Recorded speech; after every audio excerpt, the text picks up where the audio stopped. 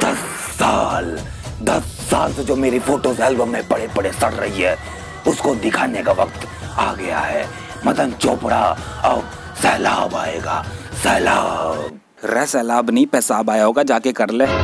चल।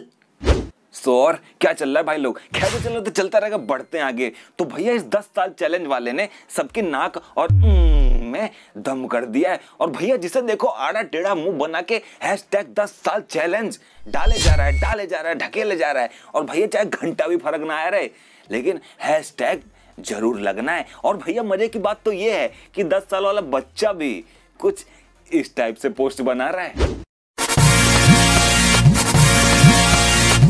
देख रहे हो, बच्चे को भी चुल्लू मची हुई है। और लेकिन ये अगला वाला ना मेरा बहुत ज़्यादा फेवरेट है।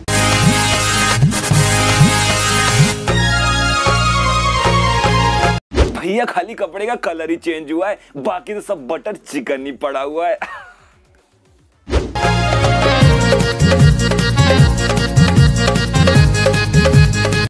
भाई जब मैंने ये वाला मीम देखा ना तो मैं आप लोग को क्या बताऊँ? मतलब क्या बताऊँ? मैं सोच नहीं पा रहा हूँ आप लोगों को क्या बताऊँ। लिखा होगा तो है नहीं खैर। हाँ लेकिन एक बात बता देता हूँ कि जब 2009 था ना तब प्रियंका चोपड़ा निक जोनस को ये वाला गाना सुनाती थी। लोरी लोरी लोरी हाँ लोरी लोरी लोरी। और अब निक जोन्स सुनाते हैं। सुहाग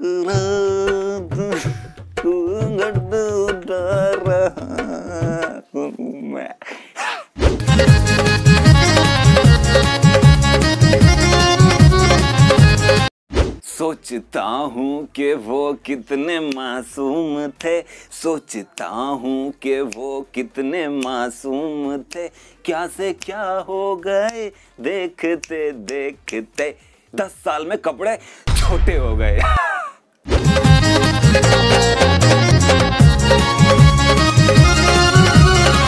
ये देखो, दुनिया दस साल में ऊपर जा रही है। ये भाई साहब तो नीचे आ गए। अरे नहीं नहीं, ये तो साइड में बोलिए, नीचे भी नहीं आए।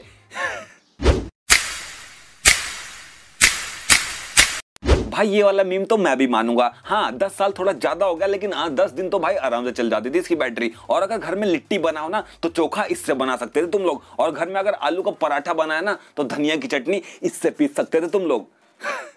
सही है ना?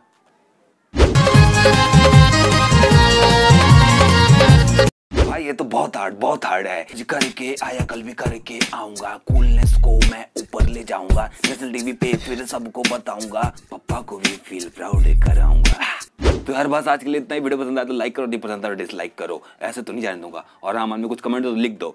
और ऐसे कुछ मीम्स हैं लास्ट में डाल देता हूँ। देख लो, मज़े करो। चलता हूँ। मिलता हूँ अगले वीडियो में। तब तक के लिए बाय बाय